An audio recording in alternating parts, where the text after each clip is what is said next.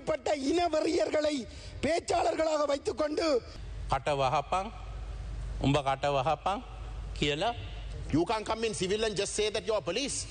There are enough fellows who have murdered people who have come and pretended to be police. So I asked him, Who the hell are you? Who are you to tell me that? You establish your identity. Show me your identity card. None of which they are prepared to do. I am raising a point of order and I'm asking the minister concerned. The, the concern, the concern. MP has raised. You are assuming, you are assuming that. No, you are assuming.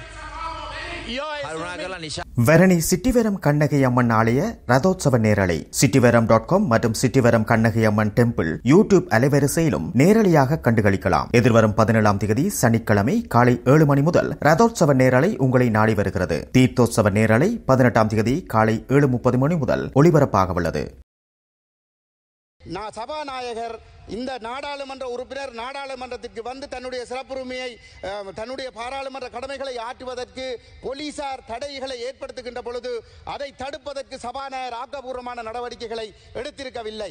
எங்களை பொறுத்தவரையிலே இந்த நாட்டினுடைய அதி உயர் பீடம் என்று சொல்லப்படுகின்ற நாடாளுமன்றம் சட்டங்களை இயற்றுகின்ற நாடாளுமன்றம் சட்டத்து பாராளுமன்றத்தில் இருக்கக்கூடிய உறுப்பினர்களுக்கு சிறப்புரிமை ஒன்று இருக்கின்ற பொழுது அந்த சிறப்புரிமையை மீறுகின்ற செயல்பாடு சபாநாயகருக்கு தெரியப்படுத்தப்பட்டிருந்த நிலைமையிலும் கூட சபாநாயகர் அதனை தடுப்பதற்கு நடவடிக்கை எடுக்காமல் அவர்கள் போலீசார் சட்டத்துக்கு விரோதமான முறையிலே அவரை கைது செய்து கொண்டு சென்று மிக கேவலமான முறையிலே நடந்து கொள்வதற்கு அவருக்கு உயிராபத்தை ஏற்படுத்தக்கூடிய விதமாக நடந்து கொள்வதற்கு சபாநாயகர் உடந்தையாக இருந்திருக்கிறார். மருதங்கனியிலே நடைபெற்ற சம்பவம் தொடர்பாக போலீஸ் பேச்சாளர் அவர்கள் போலீஸ் பேச்சாளர் போலீசாருடைய பொய்யான கருத்துக்களின் அடிப்படையிலே ஊடகங்களுக்கு கருத்து சொல்லியிருந்தார். கஜேந்திரகுமார் பொன்னம்பலம் அவர்களுக்கு எதிராக கஜேந்திரகுமார் பொன்னம்பலம் குற்றமிழைத்தது போன்ற ஒரு உண்மைக்கு புறம்பான ஒரு கருத்தை ஊடகங்களுக்கு ஊடாக பரப்பியிருந்தார். அதாவது மருதங்கணியிலே நடைபெற்ற சம்பவத்தை தொடர்பாக எங்களுடைய நாடாளுமன்ற உறுப்பினரிடம் வாக்குமூலங்கள் எதுவும் பெறாமல் அவருடைய தரப்பு கருத்துக்கள் எதுவும் கேட்கப்படாமலே அப்பட்டமான பொய்யான கருத்துக்களை போலீசார் போலீசாருடைய தரப்பிலிருந்து தயார்படுத்தி கயேந்திரகுமார் பொன்னம்பலம் அவர்களை குற்றவாளியாக்குகின்ற விதமாக ஊடகங்களுக்கு போலீஸ் தரப்பினாலே ஒரு செய்தி சொல்லப்பட்டிருக்கின்றது. இதன் ஊடாக சிங்கள மக்கள் மத்தியிலே எங்களுடைய கட்சி தலைவரை ஒரு தவறான ஒருவராக ஒரு வன்முறையாளராக சித்தரிப்பதற்கு ஒரு முயற்சி மேற்கொள்ளப்பட்டிருக்கின்றது. அதன் மூலமாக அவருடைய உயிருக்கு ஆபத்து ஏற்படுத்துவதற்கான தயார்படுத்தல்கள் நடைபெறுகிறதா என்கின்ற ஒரு சந்தேகம் எங்களுக்கு ஏற்பட்டிருக்கின்றது. கஜேந்திரகுமார் பொன்னம்பலம் அவர்களுக்கு நடைபெற்ற சம்பவம் தொடர்பாக கடந்த ஐந்தாம் திகதி எங்களுடைய கௌரவ அமைச்சர் டிரா நலஸ் அவர்கள் ஒரு அறிக்கை கோரியிருப்பதாக ஊடகங்களிலே ஒரு செய்தி வந்திருந்தது. நான் கௌரவ அமைச்சரிடம் கேட்க விரும்புகிறேன்.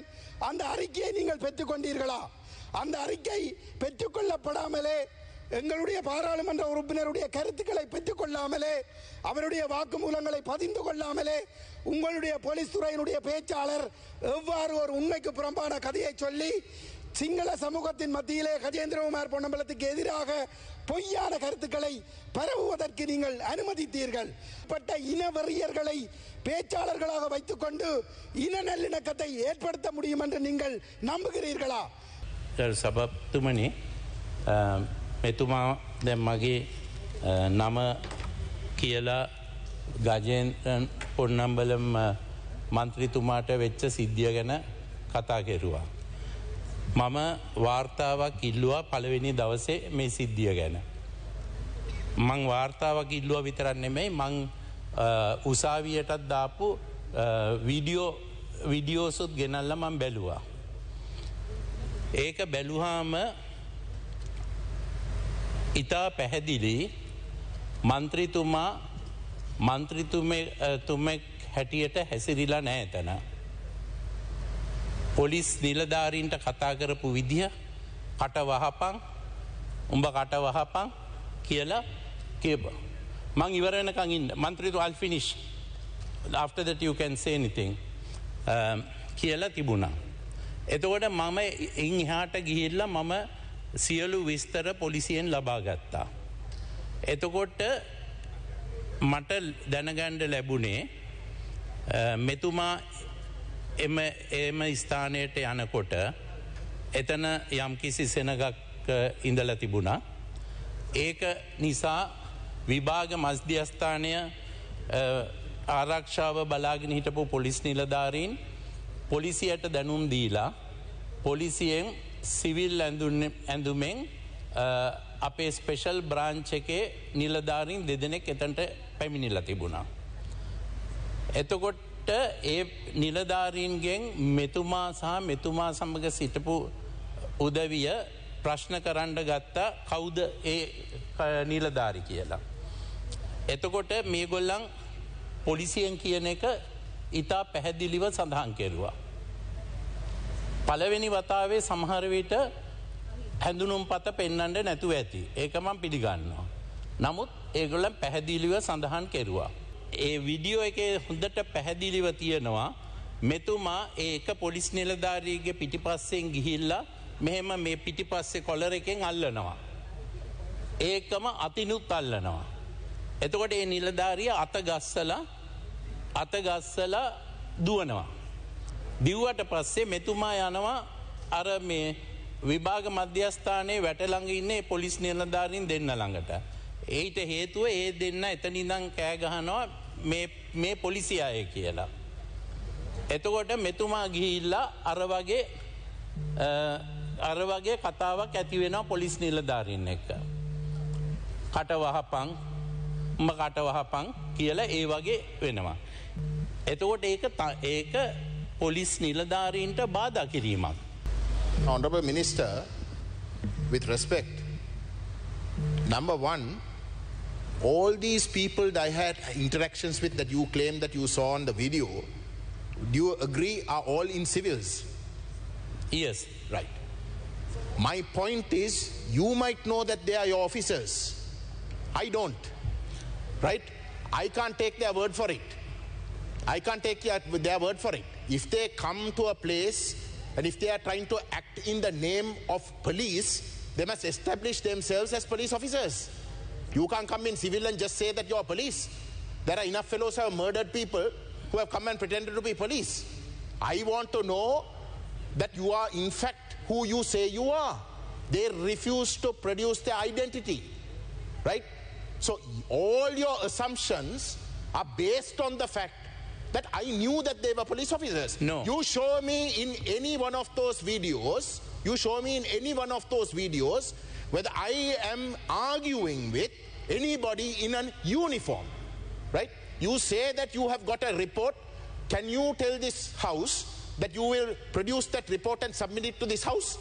Honorable member, You say that you have called for a report. No. You told Uh, the media uh, that you have called for a report. once I get the final report, I will. So you're, you're today, will. today you're talking without But- having a final no, report. No, no, no, but I have got. Today you're talking without having a final why, report. why are you why are you not allowing me to finish my uh, statement then you can uh, uh, say whatever you want when you went up to the fence and when you shouted at the person not in uniform saying katawahapang he was with another officer who was in uniform right will you will you accept that The point is, Honorable Minister, again, it is not the person with the uniform that I had a problem with. The person in civils was the one who he was who was trying to order me with regards to how I must behave with regards to a person who, I, who the people in that gathering had surrounded. Now that person who in the gathering, Uh, who, who came to our gathering was also in civil. Right? Who On- also was in civil, who was calling our meeting illegal. honorable member Without you, what right does anybody have to come and say that my meetings are illegal when I'm a member of parliament and I'm actually serving my constituents to say that they are illegal without them trying to sh- prove that who they are? Hon- honorable member, when you when you shouted at the person who was in civis, he was with another officer in uniform. No, no, no it's not. uh, It is. Uh, it is right. He was in uniform, and then you went and said katawahapang and all that. Honorable member, that is not acceptable. Whatever you say, that is not acceptable. And as the minister in charge of police, I just can't tolerate that kind of thing. And I, can, I cannot tell the police not to take action. I I don't, I really don't think the police has done anything wrong in, from the 5th to yesterday's arrest, right? They have followed every single step what they should do. On the 5th itself, they informed the speaker that they were going to arrest you. So all that was done. Honorable Minister, now you make allegations quite, uh, uh, quite unbelievably. As someone who has called for a report, you have, uh, you have made allegations against me listening to a police, listening to a police officer who's a, who, who- are parties to this incident without even, before you even got the report. So you're quite clearly, it- it, is very clear to me that the police were acting on your advice. But let me tell you this, Mr. Jayanta a very senior President's Counsel is here. He's a criminal lawyer. You see, when the police come in civils, the first thing they must do if they are carrying out their duty, when they are going to especially interact with civilians, is they must identify themselves and say that they are police officers. If the police officers concerned came up to me, identified themselves as police officers and said, Sir, you can't have a meeting here for what, what, whatever reason. Let's say they told me that there is an exam uh, center uh, next door. You see, you, can, you can, that can be a disturbance to the exam center. So therefore, you can't have a meeting here. I would have accepted that. The people who are sitting the exams, their parents are my constituents. They vote for me, not for, not for you. It is in my interest to make sure that I don't disturb right? But it was a coordinating center. And it was 3.30, there was no exam going on. There was no exam going. The last exam that was going on finished at 3 o'clock island-wide, right? The person that the Honorable Minister says who was in the exam center didn't even come into the picture. It was the two individuals who came to disturb the meeting. In civils who repeatedly, despite me asking them to produce the identity card, who refused to, it is they who then shouted out. Shouted out to the people in the in the in the school and these are all in the videos. I hope you produce the videos. It is in my interest that you produce the videos. Right? They shouted out to the people in the uh, in the in the school to say that they are police officers to come here because the people here have surrounded them. The people in the in the playground have surrounded them. It is then that two officers come out two two individuals come out. One is in uniform. The person in uniform who was carrying an automatic rifle did not open his mouth. Did not open his mouth. It was the person next door who was in civils who was interacting with me. And what did he say? The first thing he said was that these are all police officers, people who have hit me. The two individuals who came to the playground, one of whom hit me and did a getaway, both of them who refused to establish their identity, someone in a school comes out in civils, shouts across to me in a rude way and says that they're all police officers, they're all are people, you can't keep them, let them go. So I asked him, Who the hell are you? Who are you to tell me that? You establish your identity. Show me your identity card. None of which they are prepared to do. So without them establishing themselves whilst they are being in civils that they are police officers, how on earth am I supposed to know that they are police officers? They can be your SLPP thugs. They acted certainly like that. Why should I accept them as police officers? So if as a minister, you don't know this basic, this basic principle of policing, it only means that it is on your instructions. It is on your instructions that they have been behaving in such thuggish way. And in an illegal way, they were they were serving your purposes. I am raising a point of order and I'm asking the minister concerned. The, the concern, the Honourable concerned MP has raised, the concerned MP has raised two questions. One, it was 3.30 in the afternoon, there was no exam going on. Right? Secondly, can anybody in civis come and claim that they are police officers without establishing their identity? Are we supposed to take their word? Any thug on the road will say, I'm a police officer. You must show your identity. Those are the two questions the Honorable MP has asked. Thirdly, Honorable Minister, you explained about his arrest. Now, the police knew very well that he was traveling from Jaffna to Colombo to attend Parliament. Right? Under Parliament Powers and Privileges Act, it is illegal to stop an MP from attending parliament. What was the, what was the hurry in arresting him yesterday during the sessions of parliament this week? Um, they, they, they had initially informed him to come and make a statement today, not yesterday. What, why couldn't they wait till Friday until the parliament sessions were over for him to. He, he hadn't committed uh, murder and was fleeing the country or anything like that. They knew very well that he had traveled from Jaffna to attend a parliament session. This, I'm raising this, Honorable Minister, as, as a member of parliament which concerns you as well, all of us. We have we have a privilege to attend parliament. That පැහැදිලි කෙටියෙන් කරන්න කෙටියෙන් their law the law permits the law says assures us that we can attend parliament and we cannot be prevented from attending parliament. The police, the police under you knew very well that he was in Colombo to attend parliament. And what was what was this what was this hurry to arrest him and take him all the way to Kilinochchi? Hurry. Honorable member, you asked me three questions. One was uh, about uh, not showing the ID.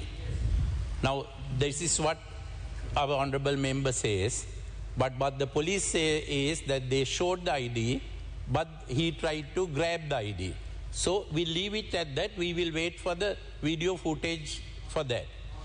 Then um, the second question you asked me uh, was about uh, coming to Colombo to attend parliament, is it? Or something else? About the ID? No, right. Right. And that, that uh, center, I don't think, from the information I have, it wasn't examination center. It was a center where all the papers were brought to one place and distributed from there. A place like that. You're correct, Honorable Minister. It was not an examination center, it was a coordinating center. That is where they normally come and ha- have the uh, uh, exam papers before they are distributed. And because, because it was a Friday, there were no papers also there.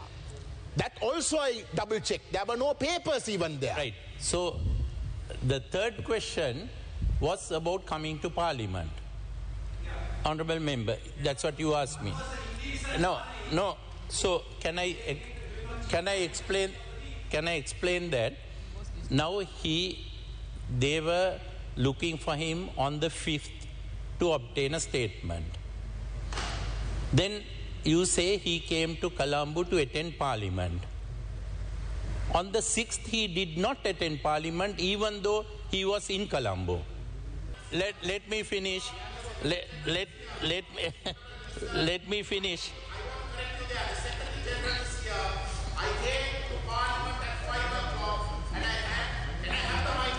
Five o'clock in the evening, you mean? Honorable member, when I said he was not in parliament, I was here from morning. He was not in parliament. Now he says he came at five o'clock, right? So that is not to attend parliament, right? Secretary General, Secretary General, would, Secretary General would have known about it, but Secretary General didn't inform the police, no, because she doesn't have to inform the police. No, no, no, no, no, no, no. That is all wrong. And now he says, he say, you, you are assuming, you are assuming that. No, you are assuming. කරුණා. කරලා නිශ්ශබ්ද වෙන්න ඇමතුමාට පැහැදිලි කිරීම කරන්න දෙන්න. කර- කරුණා කරලා නිශ්ශබ්ද වෙන්න මේ පැහැදිලි කිරීම කරන්න. දෙන්න ඔබතුමාට අවස්ථාව ලබා point of දුන්නා order දැන්. there. දැන් අවස්ථා Yeah. කීපයක් ලබා දුන්න Just ඔබතුමාට. because you can shout, just because you can shout, don't think that we are going to sh- shut up and wait. Yeah. No, there is no point of order there.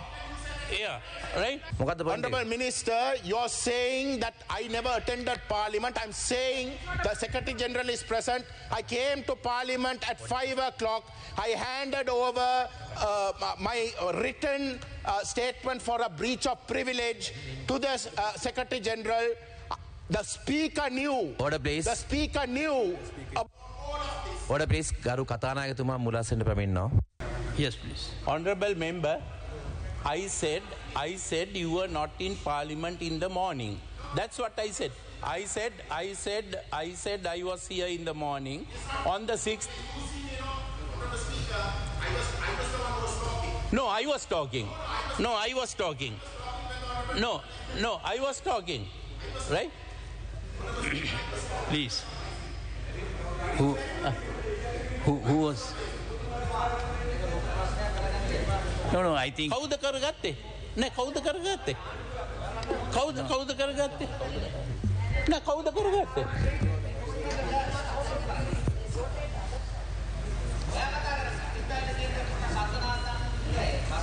Please. Now it is not the time to raise this, this kind of point of orders, and because you know now the matter is under control, matter, matter is under uh, legal uh, authority. So why do you want to uh, worry about it?